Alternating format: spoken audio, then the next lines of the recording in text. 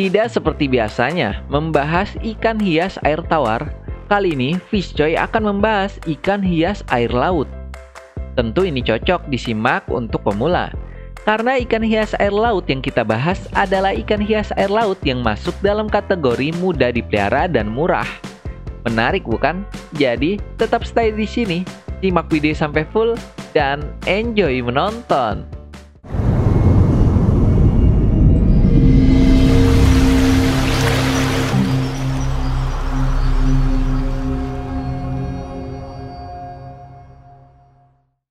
Halo, apa kabar teman semua? Gimana? Masih berharap dengan yang lucu-lucu? O Y O T A Dibaca? mobil Untuk sebagian orang yang udah bosan memelihara ikan air tawar, tentu ikan hias air laut menjadi pilihan yang menarik. Mengingat warna dan bentuk ikan hias air laut jauh lebih unik dibandingkan ikan hias air tawar. Dan tanpa banyak ngomong lagi, langsung aja. Inilah beberapa jenis ikan hias air laut indah yang berharga murah dan mudah dipelihara. 1. Ikan clownfish atau Nemo Jenis ikan hias air laut ini pasti sudah sering kamu lihat karena merupakan pemeran utama dalam film Finding Nemo.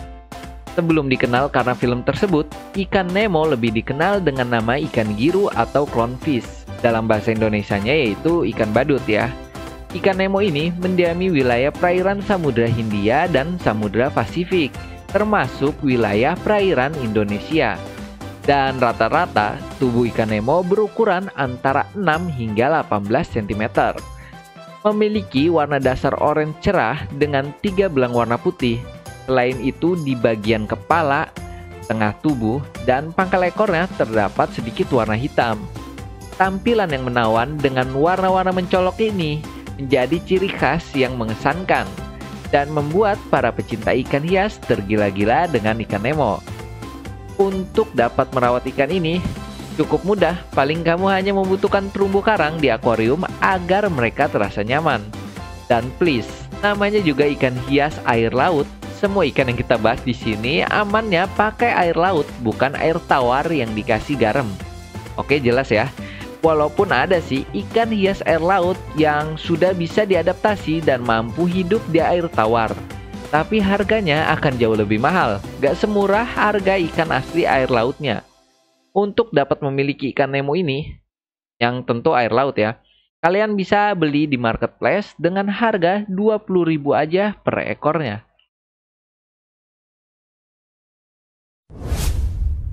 Dua, ikan hias blue tank atau Dory.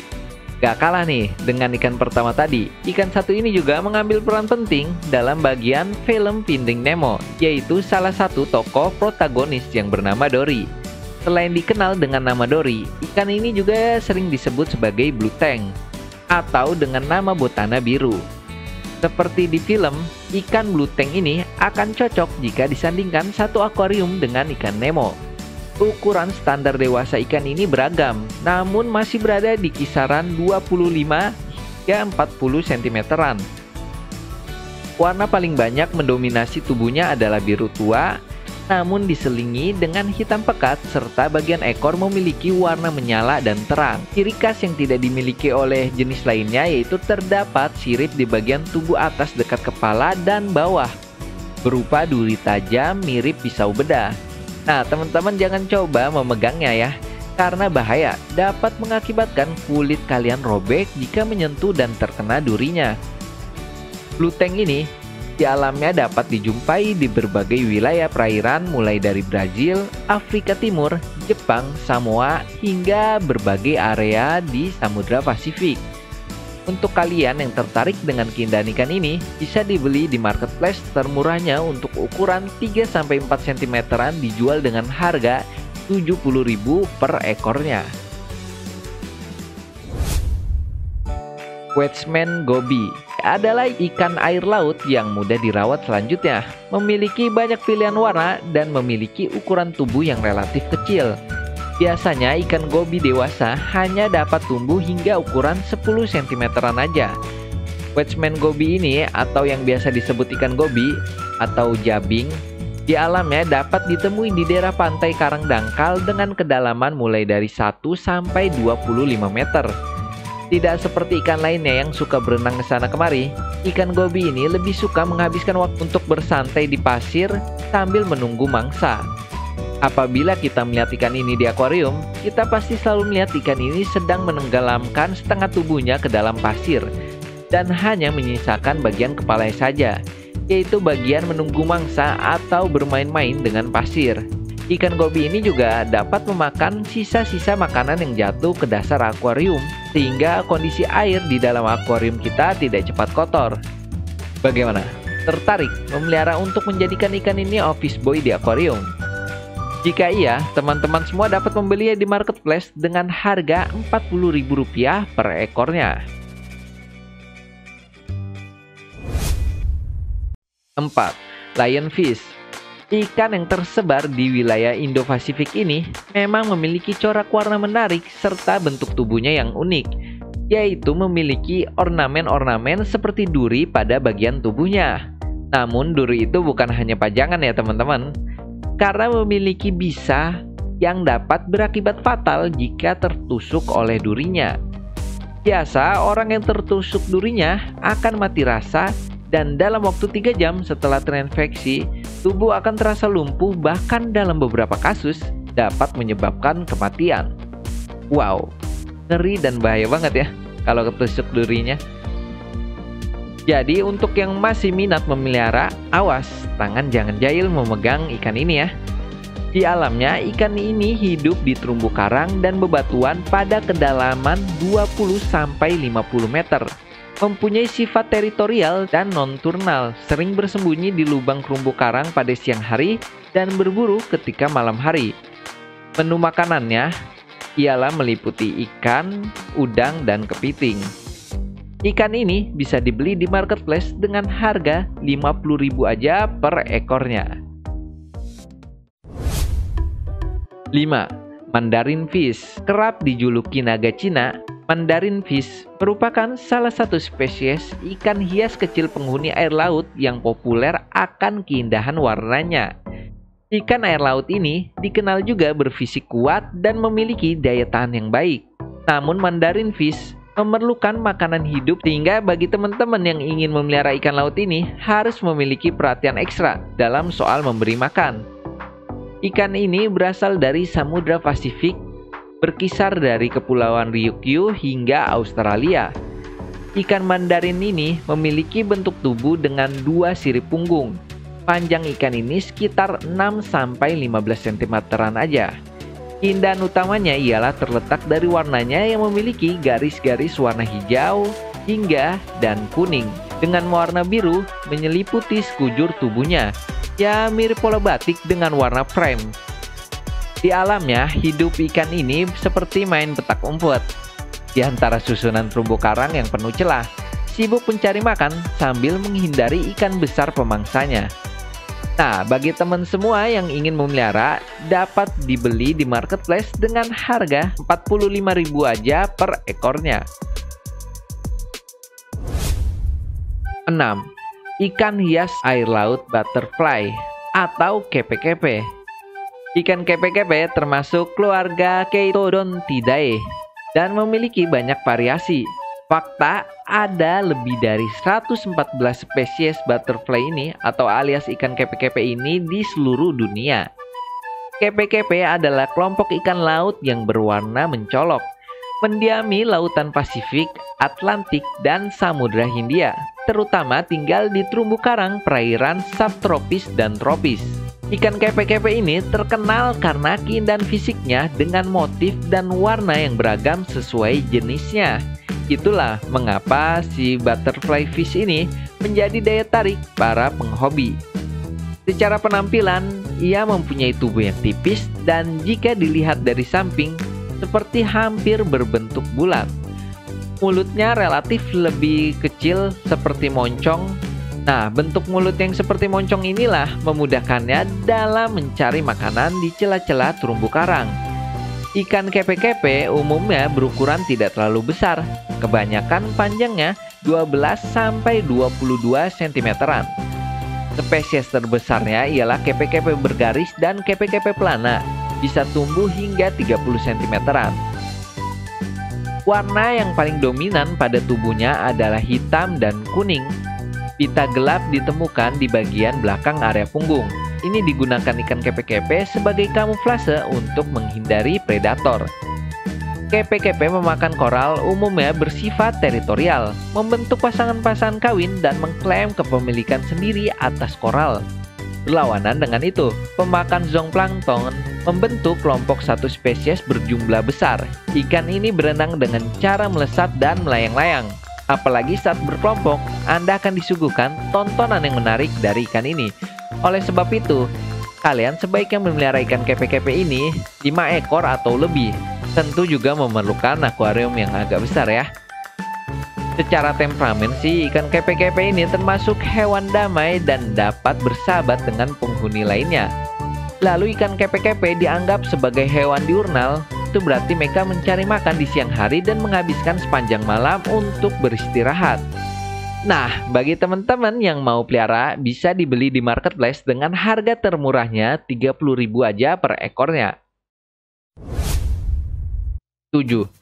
Ikan banggai atau cardinal fish. Nah, salah satu jenis ikan di perairan Indonesia yang banyak diminati dan mendapatkan permintaan pasar internasional adalah banggai cardinal atau ikan capungan banggai.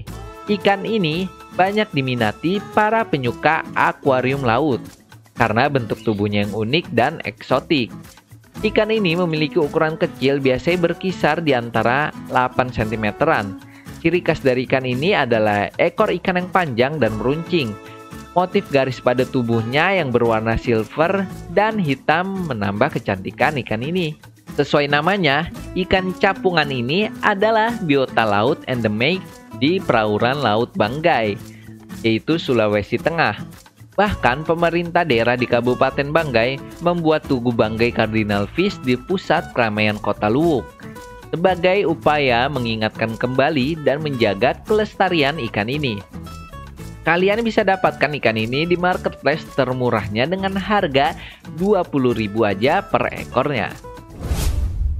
8. Dotibek Ikan yang memiliki warna cerah dan cantik ini sering kali menjadi pilihan para akuaris untuk dijadikan salah satu penghuni dari akuarium laut milik mereka. Ikan ini banyak ditemui di perairan Indo-Pasifik. Terumbu karang merupakan habitat asli ikan yang umumnya berukuran 4 inci atau sekitar 10 cm ini. Untuk memelihara ikan kecil menggemaskan ini cukup mudah karena doti bag tidak akan terintimidasi oleh kehadiran ikan lain. Namun jangan lupa, jika memelihara ikan ini, pastikan berikan juga bebatuan layaknya terumbu karang di habitat aslinya. Makanan dari ikan dotibek yaitu plankton, frustase kecil, cacing, dan akan menerima sebagian besar makanan beku siap saji. Kalian yang ingin memelihara ikan ini bisa membelinya di marketplace dengan harga 30.000 aja per ekornya.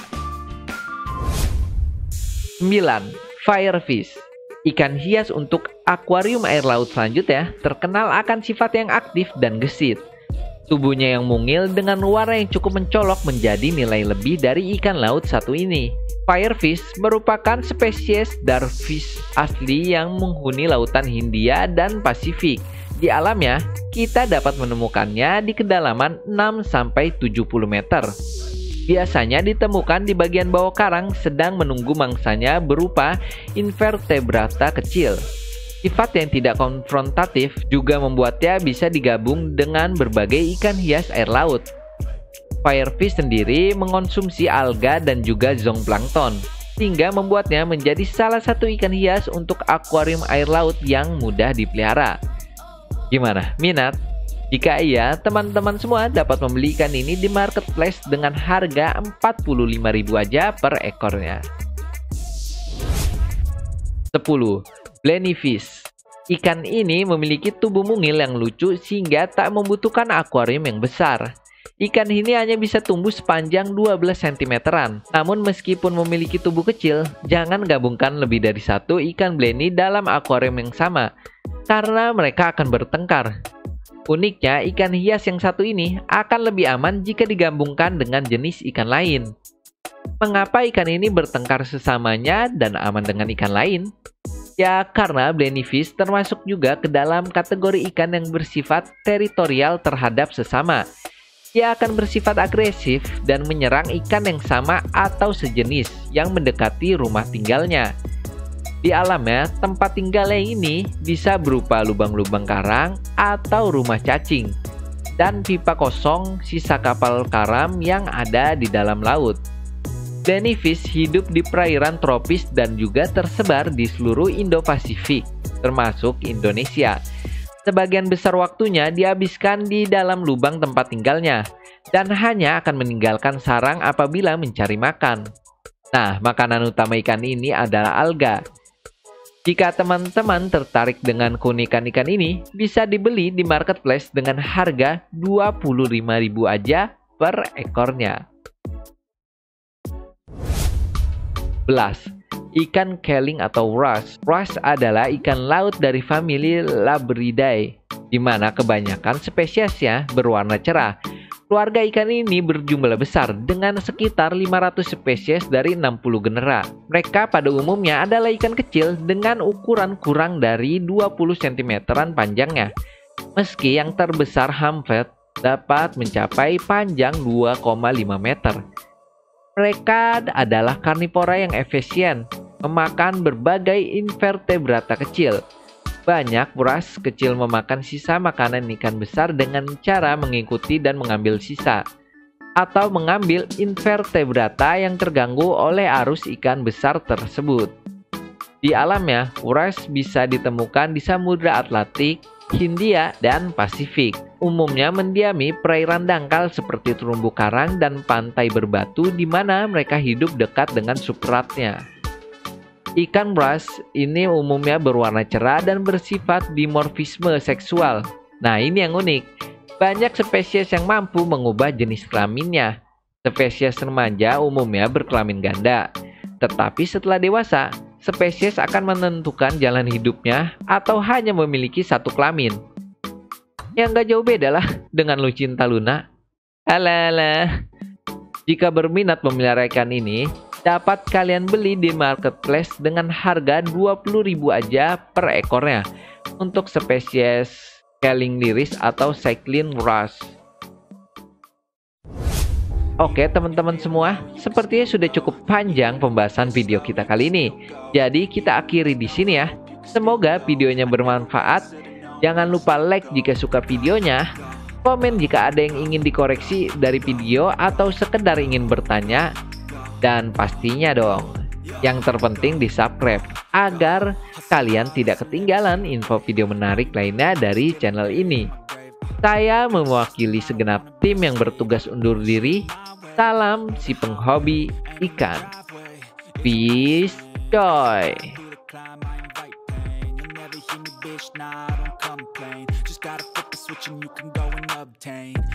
Even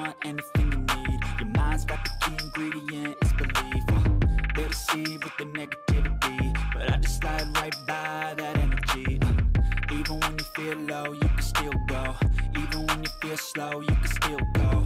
Even when there's no hope, you can still go. I never answer to no, man,